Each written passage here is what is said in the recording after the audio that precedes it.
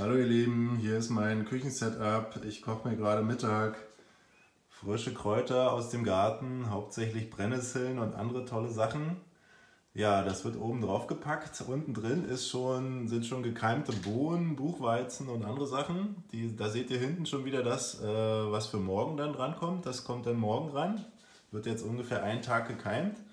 Ja, und diese äh, Kräuter und so, die werden dann jetzt noch ein bisschen platt gedrückt, mit, kommt noch ein Deckel drauf und dann ist es ein super Eintopf. Die Kräuter sind super gesund und kosten nichts. Also coole Sache.